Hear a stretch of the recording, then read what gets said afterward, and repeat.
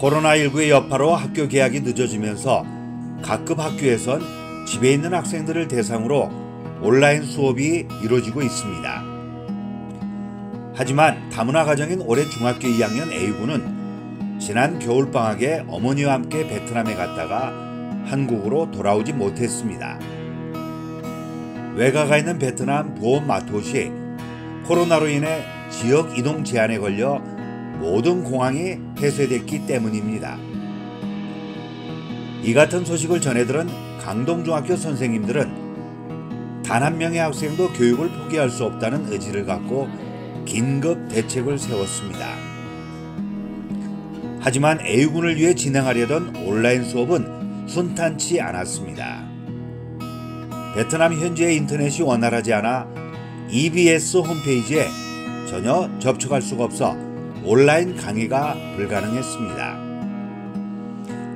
이에 따라 영어, 수학, 역사, 기술 등 각 교과별 선생님들은 유튜브로 동영상을 만들어 수업을 들을 수 있게 했습니다.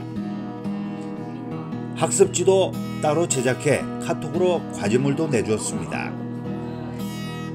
기존 학생들의 온라인 수업 준비로 눈꽃 틀새 없이 바빴지만 단 한 명도 포기할 수 없다는 사명감으로 혼신을 다했습니다. 최대한 적절하게 그리고 좀 이렇게 간단하면서도 좀 재미있게 하려고 그렇게 별도로 이렇게 제가 어, 과제를 주고 이렇게 만들어서 하니까 스스로도 잘 따라오는 것 같고 그 카톡으로 또 소통하니까 또 서로 간에 또 이렇게 소통도 되고 재밌었던 것 같습니다.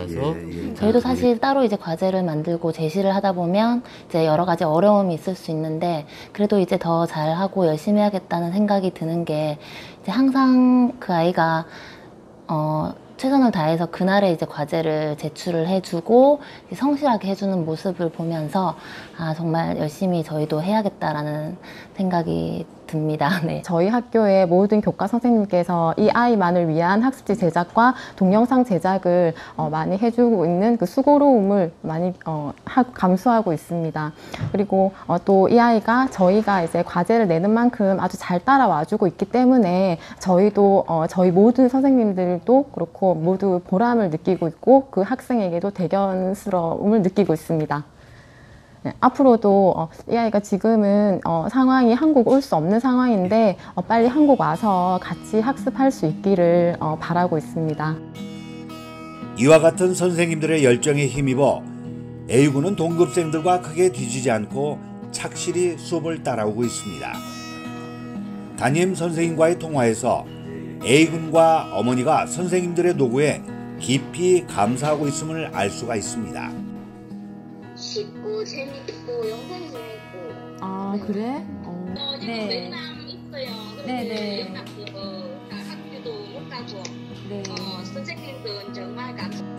학교 측은 등교 개학 이후에도 입국하지 못할 경우 A군을 위한 온라인 수업을 계속 진행하고 같은 학급 친구들로 하여금 학습 도우미를 선정해 요약된 수업 내용을 제공하는 방안도 검토 중입니다. 서 학생이 어, 몸은 비록 멀리 떨어져 있지만 어, 다른 친구들과 같이 온라인 개학을 함께 해서 학교에 다니고 있는 것처럼 느낄 수 있도록 저희가 학습 지도와 어, 생활 지도를 함께 병행을 하고 있습니다.